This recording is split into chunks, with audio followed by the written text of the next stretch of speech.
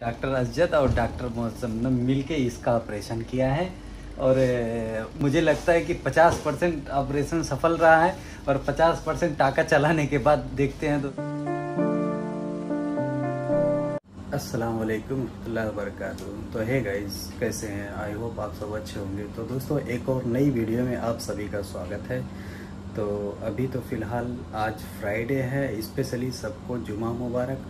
और आज फ्राइडे था तो इसके लिए हम लोग थोड़ा जल्दी उठ गए और नहा धो के रेडी हो गए, लेकिन अभी मैं कपड़ा नहीं पहना हूँ तो आज मैं कुर्ता पजामा पहनने वाला हूँ।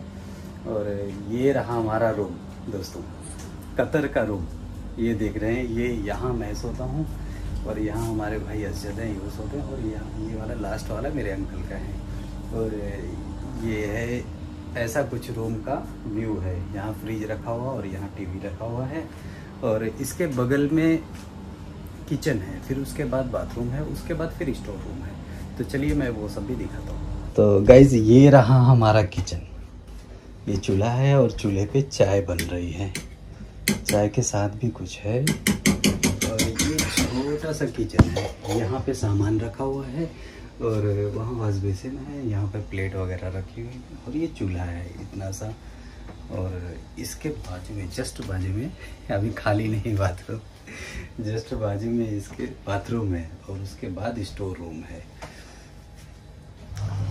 तो गाइज़ ये ये जो, जहाँ मैं खड़ा हूँ ना, ये स्टोर रूम है। यहाँ पे सब सामान रखे हुए हैं और कपड़े वगैरह रखे हुए हैं। जितने भी सब यानी यूजेबल सामान है वो यहाँ रखे जाते हैं और कबट में कपड़े वगैरह हैं सब यहाँ पे। और ये लास्ट वाले में सब सामान रखा हुआ है। यहाँ पे जितने भी साम, सामान काम के वो सब यहाँ रखे जाते हैं। तो चलिए हम लोग रेडी हो जाते हैं क्योंकि जुमे का टाइम हो रहा है। तो मिलते हैं रेडी होने के बाद। मैं और ये डॉक्टर अजद और डॉक्टर मौसम ने मिल इसका ऑपरेशन किया है। और मुझे लगता है कि 50 परसेंट ऑपरेशन सफल रहा है और 50 परसेंट टाका चलाने के बाद देखते हैं दोस्तों मिलते हैं फिर टाका चलाने के बाद। तो गाइज़ ऑपरेशन सफल रहा और हमारा फ़ैन चल रहा है ये देखो। बिल्कुल हवा भी दे रहा है एकदम ज़बरदस्त।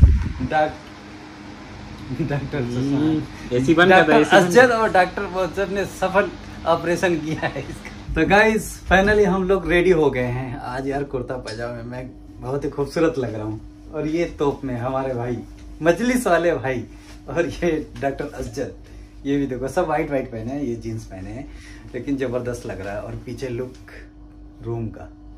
चल। अरे चाचा जी बिल्कुल एकदम कतरी हो गए सेम सेम कतरी। रूम के बाहर का नज़ारा ये है और ये मेन डोर है। यही बाजू में चप्पल उतारी जाती है और यहाँ कपड़े सुखाए जाते हैं। और ये रहा ये देखिए। यहाँ पे एलोवेरा लगा है मिर्ची का पेड़ है और ये सहजना है और ये ये धनिया का पेड़ है इसमें मूली है और बाकी खजूर है। और इस तरफ़ देखिए इस तरफ़ बिल्कुल मैदान है।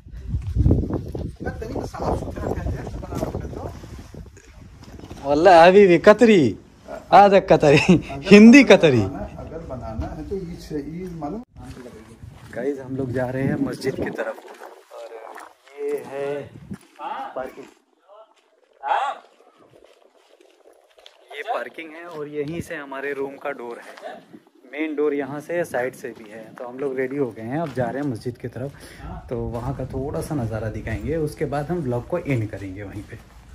तो यार हम लोग निकल चुके हैं जुमा की नमाज़ पढ़ने के लिए और सब लोग रेडी है। यार सुरमा लगाने में थोड़ा सा लेट हो गए हम लोग। एकदम लास्ट टाइम पे सुरमा लगा है यार, बहुत ज़्यादा तकलीफ़ दे रहा है। तो ये सामने रही हमारी मस्जिद, वो उस तरफ़ उस तरफ़ हमारी मस्जिद है और हम लोग चलते हैं, ये गाँव है। और किसी दिन टाइम मिला है तो यार मैं इस गाँव का भी वीडियो बनाऊँगा। आपको लोग को दिखाऊँगा कि कतर का गाँव होता कैसा है। और ये ये वाली जो बिल्डिंग दिख रही है ना, ये ये सब, इस गाँव की सबसे पुरानी बिल्डिंग है ये। ये सबसे पुराना घर है। इसकी छत भी लकड़ी की बनी हुई है। इसका जो गारा लगा हुआ है, ये मिट्टी का है, लेकिन बाद में इसको रेनोवेट करके इस पर प्लास्टर लगा दिया गया था। अभी भी इसको देख सकते हैं साइड साइड में दिख रहा है। इसकी छत सब टोटली जो है लकड़ी की बनी हुई थी। तो अभी तो फ़िलहाल कोई नहीं रहता इसमें। तो हम लोग आ गए हैं मस्जिद की, मस्जिद के एकदम पास आ चुके हैं। तो चलते हैं हम लोग मस्जिद के अंदर। तो मिलते हैं आपसे किसी अगली वीडियो में। तब तक के लिए अल्लाह हाफिज़।